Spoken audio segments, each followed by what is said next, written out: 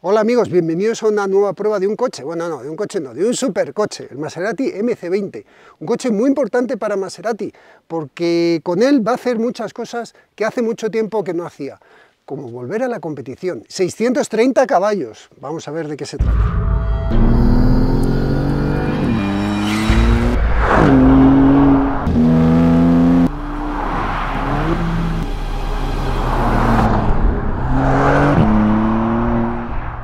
Pues sí es importante este coche, sí es importante por lo menos para Maserati, porque mm, con él ya os he dicho que vuelve a la competición con el Stream, con el MC, Stream.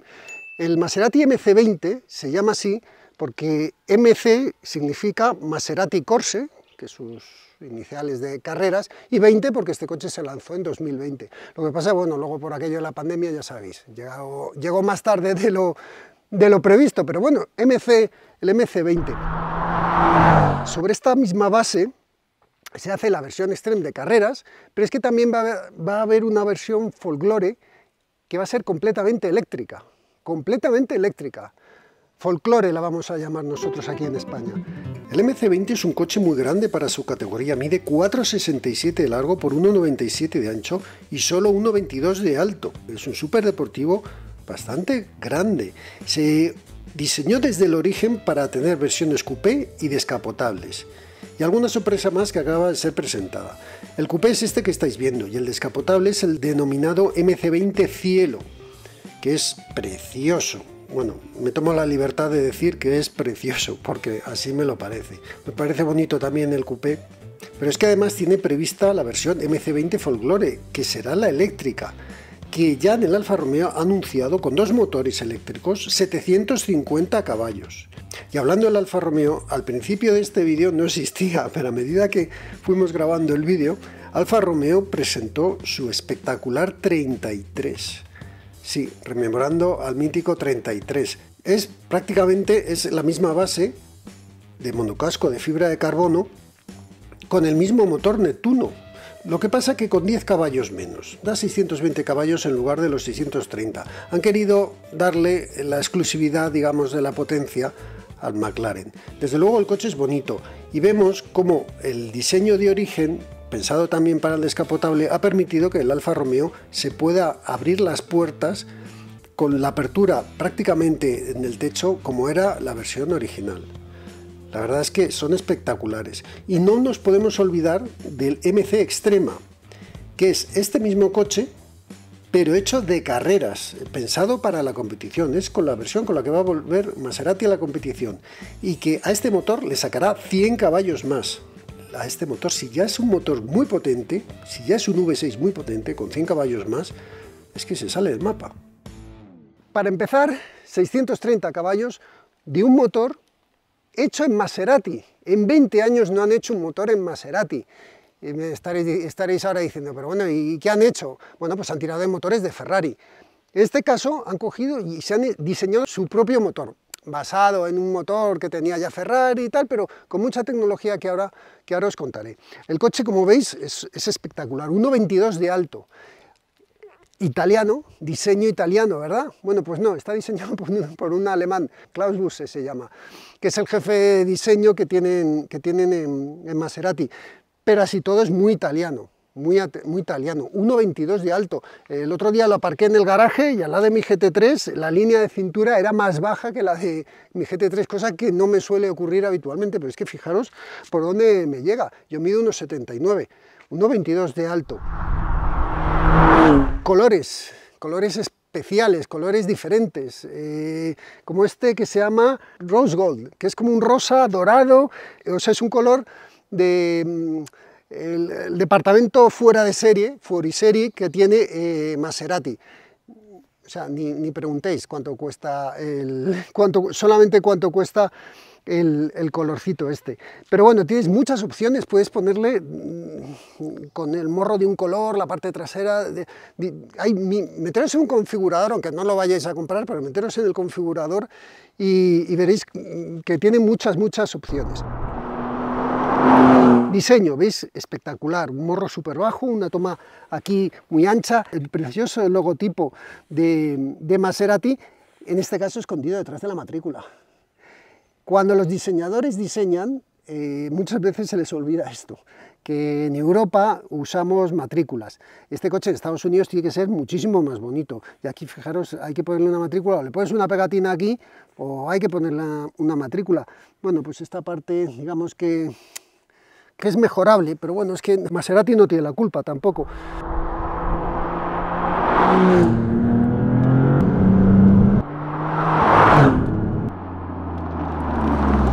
¿Veis estas formas, estas entradas de aire?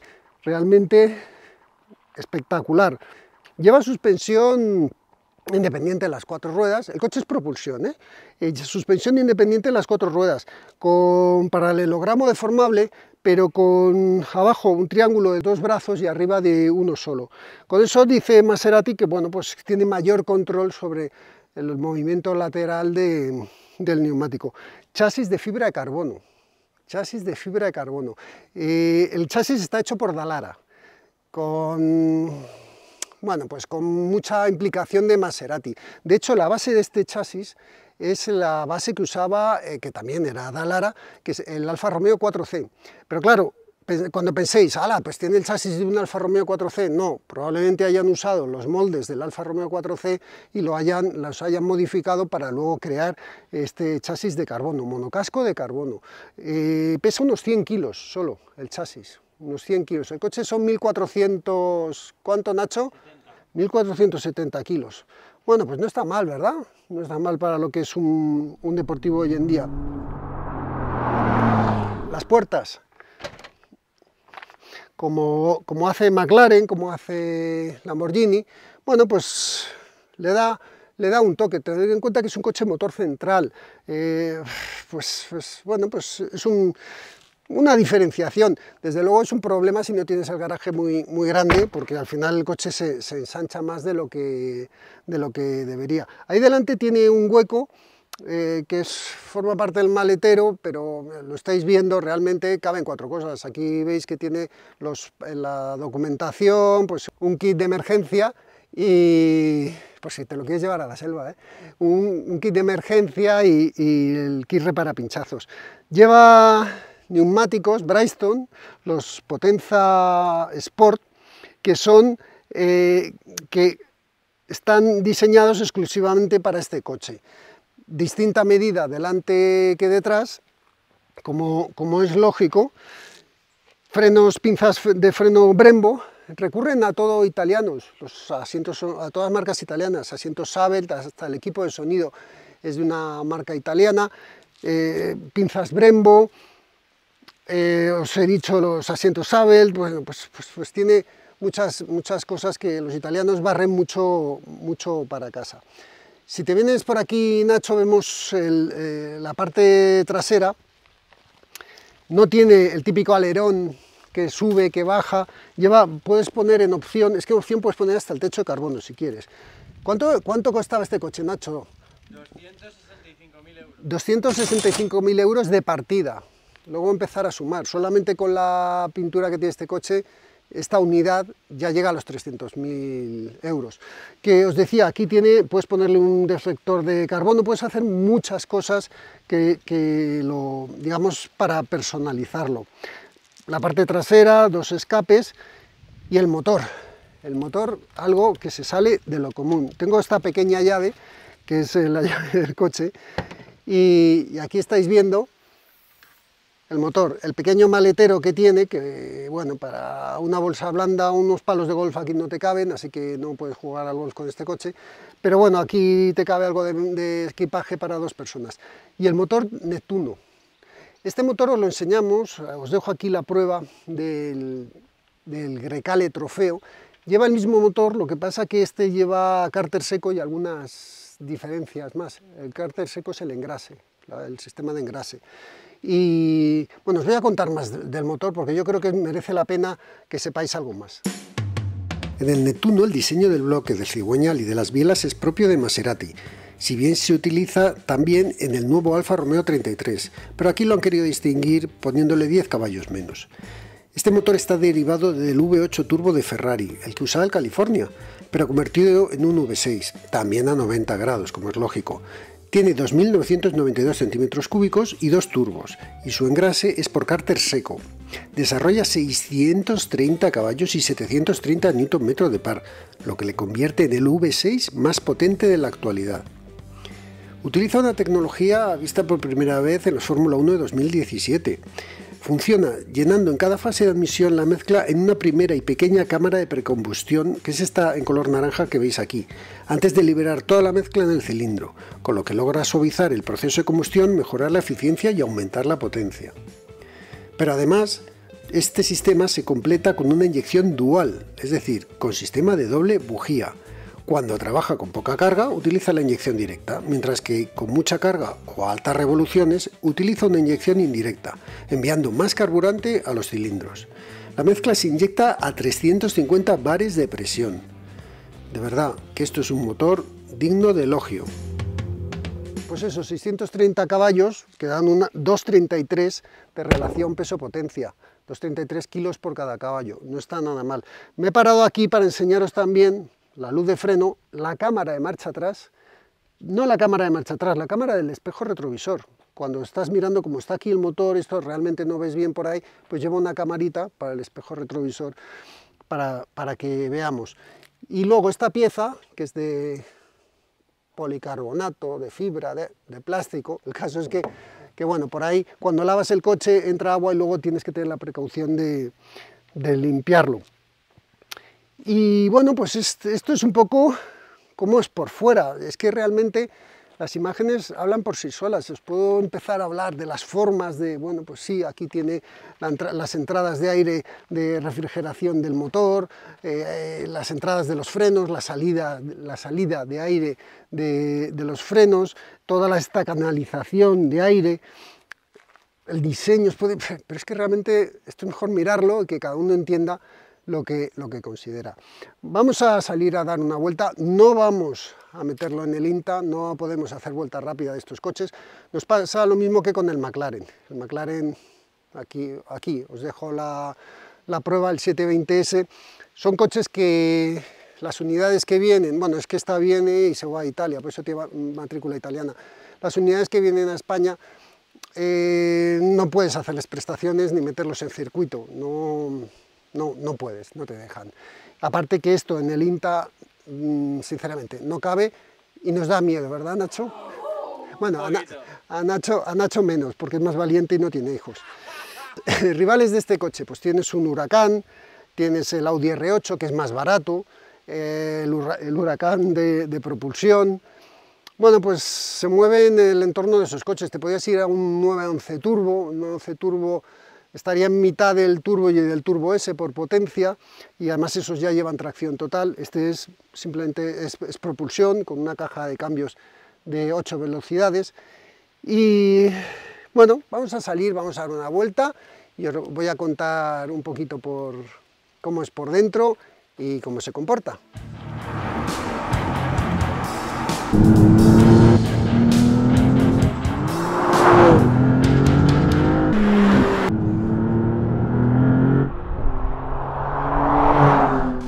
Primero, ya estoy dentro. Cierro la puerta. Está un poquito dura, pero bueno, vale. El móvil lo dejamos aquí, que va a tener su cargador inalámbrico. La funda de las gafas va aquí. Las llaves las podemos dejar aquí o en el bolsillo. Y nada, apretamos el botón. Y magia. El asiento se coloca él solo en su, en su posición. Y nada, pues ya está. Vamos a darnos una vuelta. El móvil está en una base inalámbrica. Si os fijáis, todo es un poco minimalista.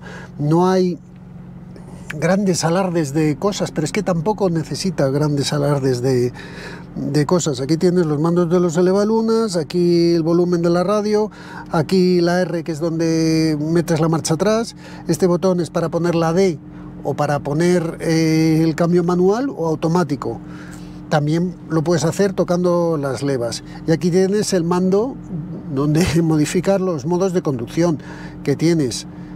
A ver, le damos a la pantalla aceptar para que también se vean, se vean en, en la pantalla. Aquí mi coche, aquí.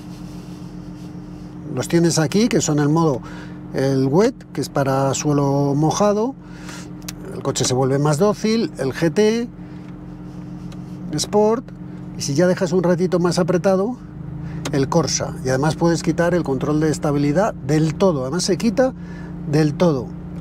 Vamos a ir y, cambia en todos, cambia el sonido, cambia la suspensión, cambia la dirección, cambia eh, la caja de cambios, la gestión de la caja de cambios del acelerador, el motor, todo. Vamos a ir en modo GT para no meter mucho ruido. Y además, eh, cuando tú cambias los modos de conducción, en la pantalla cambian cosas. Pasa de ser un tacómetro mm, redondo a ser una tira, digamos, de, lucecitas en el caso del, del modo Corsa. Pues nada, le doy a la leva y nos vamos. Una cosa importante que hay que destacar es que este coche lleva el retrovisor con cámara, porque a través de aquí no se ve nada. Esto de la cámara, bueno, es que no te queda otro remedio, porque es que si no, mm, es o ver mal o ver esto que por lo menos se ve bien. Ventajas, pues que tienes una buena visibilidad que comparada con otros superdeportivos de este estilo de motor central eh, no la tienes y aquí encima puedes modificar el brillo y puedes modificar un poco lo, que ves. Eh, inconvenientes, yo no sé vosotros, pero hay mucha gente que hace así y se mira en el espejo. Por ejemplo, te has comprado un Maserati, a lo mejor te crees que te has vuelto más guapo por tener un Maserati y a lo mejor quieres mirar a ver así para ver si sigue siendo igual de feo o has, o has mejorado algo por tener un Maserati. En el volante ya habéis visto que tenemos el botón para arrancar, un botón para hacer launch, para hacer launch, que si tú lo aprietas, lo único que tienes que hacer es pisar el freno con el pie izquierdo, aceleras a fondo y en cuanto suena, sueltas el pie del freno, el coche sale como un disparo. El volante es agradable con alcántara por aquí y fibra de carbono, es entero de fibra de carbono el volante.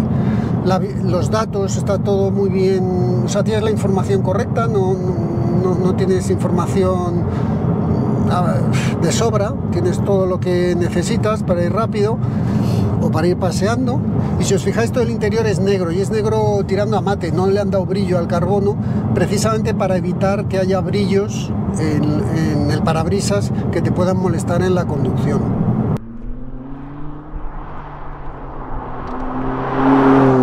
Y como buen italiano, aquí hay alma, aquí hay sensaciones, aquí hay una conexión de carretera, coche, motor, sonido, vista, tacto, olor, esas cosas que nos gustan tanto en Garage Es una pena que haya que gastarse este dinero hoy en día para sentir estas cosas. Aunque por ahí hay algún, hay algún coche que, no sé si os habéis visto la prueba del i20N, el GR86, el Puma ST, esos coches al final, la dejo por aquí, esos coches al final tienen también alma como tiene este coche. Pero cómo se disfruta. Y ahora si me dejáis un ratito, a ver, modo Corsa, yo a lo mío, vosotros pues a disfrutar, que para eso lo estamos contando. ¿Escucháis la válvula de descarga del turbo? Se escucha un montón.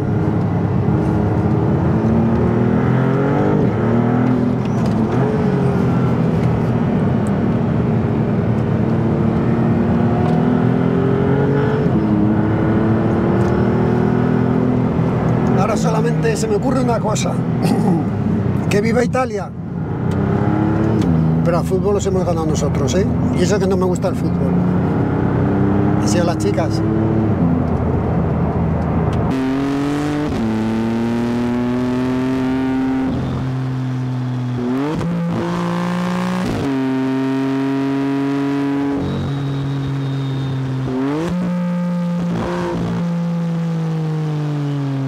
El comportamiento es muy agradable, más de lo que de verdad te puedes esperar al principio. Mm, recuerdo el McLaren, el 720S, era un coche más rígido en todo, lo tenías todo como más, estaba todo como exageradamente duro. Y en cambio en este, eh, monocasco es tan rígido, la estructura es tan rígida, que se han podido permitir el meter suspensión más blanda, que eso es el ideal, eso es el ideal. Entonces, cuando tú vas conduciendo normal, como voy ahora, voy a 60 kilómetros por hora, cuando tú vas conduciendo normal, notas un coche cómodo, cómodo de suspensión, cómodo de reacciones, no, no te estresa, no te estresa la conducción. Es eso, es la palabra es agradable. Y eso se une que el motor ah, por debajo de 3.000 vueltas, a ver, perezoso no es la palabra, es, es tranquilo. Ojo, que a 3.000 vueltas ya vuela, pero que es más tranquilo para lo que va a venir después. Entonces, mm, tienes la sensación de llevar un coche realmente normal, no, estar llevando, salvo por las formas, la postura, eh, no tienes la sensación de estar llevando un coche estresante. Ahora bien, en cuanto empiezas a, tocar, habéis visto que ya ha cambiado, que ya ha cambiado el sonido, ya se ha vuelto el coche un poquito más duro, este es el modo Sport. Eh, ya, aquí empieza la fiesta. Por debajo de 2.000 vueltas es muy tranquilo, pero a partir de 3.000 se vuelve loco. O sea, loco de, lo que corre. Es una maravilla lo que corre este motor. Hay que tener en cuenta que los rivales están llegando a esta potencia con Lamborghini y el, Audi vienen con un V10. Con un V10. Y este lleva un 6 cilindros, un V6 de 3 litros. Sí, con sus dos turbos, con todo lo que os he contado del motor. Pero al final es un motor muchísimo más pequeño que sus rivales. Y no por ello es más lento. La dirección me gusta mucho, es muy directa, va a lo que le dices. Eh, la reacción del diferencial autoblocante también es.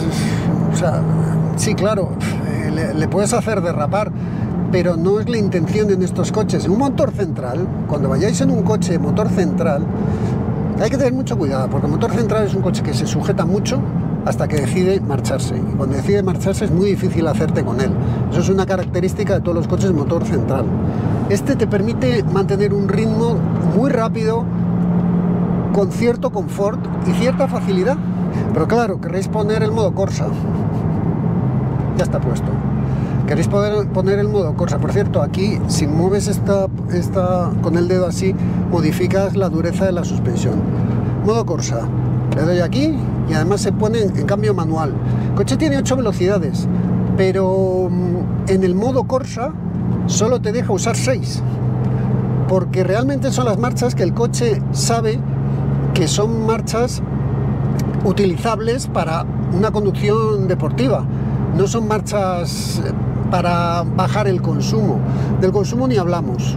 Ahora voy en modo tranquilo y, a ver, porque, tengo que quitar el modo Corsa para verlo. Estoy ahora mismo, mira, en, todo el camino que he venido hasta aquí, que he venido tranquilo, iba en unos 8 9 litros, pues que venía muy tranquilo, a velocidad legal, 120, a conducción de Flanders.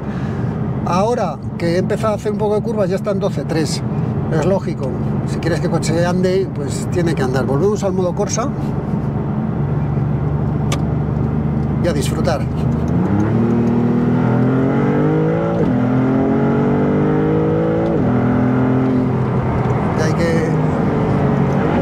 que levantar. El cambio se vuelve demasiado brusco, ¡pum! te da un golpe muy fuerte, sobre todo en las reducciones. Vuelvo al modo GT para que me escuchéis bien. Se vuelve un poco, ya el cambio automático, se pone un modo un poco brusco, pero es que esto en un circuito tiene que ser otra cosa. Sinceramente a mí me gusta más el cambio en modo Sport que en modo Corsa, pero ya os digo que eso casi está pensado más para, para un circuito.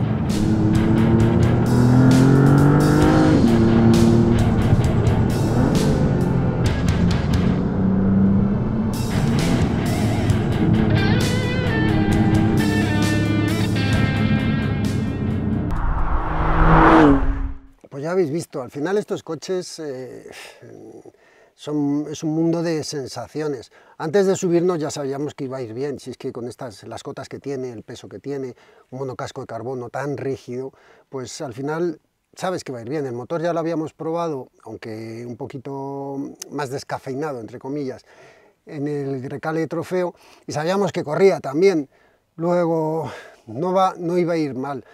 Una maravilla, una maravilla conducir estos coches. Por cierto, no sé si veis aquí que esto no es fibra de carbono, es fibra de carbono con, reforzado con plástico, que solo han utilizado para, para las puertas y para algunas piezas. El resto es fibra de carbono normal. Hay que recordar que el diseño de este coche está basado en el Maserati el MC12, ¿Os acordáis del MC12? Bueno, pues el MC12 que estaba a su vez basado en el Ferrari Enzo. Si es que ya os estoy diciendo nombres que ya forman parte de la historia del automóvil. Y este, y este coche probablemente también pase a la historia de pase a ser parte de la historia del automóvil, sobre todo porque va a ser el primer Maserati eléctrico, pero también con su motor de gasolina de 630 caballos.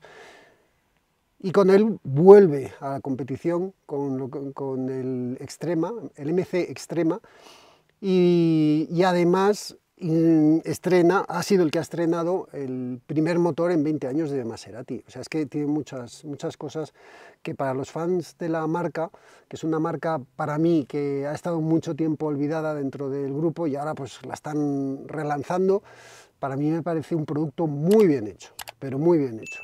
Así que nada, me lo llevo, que no tengo otra cosa que hacer. Acordaros que tenemos unas camisetas muy chulas, acordaros de suscribiros al canal, de haceros miembros, que nos echáis una mano para poder hacer vídeos muy chulos como los que estamos haciendo últimamente. Bueno, últimamente no, desde el principio. Y, nada, que nos vemos en otra ocasión. Os dejo ahora el sonido del coche que es digno de ser escuchado. Nacho, te puedes seguir despidiendo, que yo ya me voy. Chao. Oye, que estás fuerte para hacer esto, ¿eh? Ya no voy a CrossFit hoy.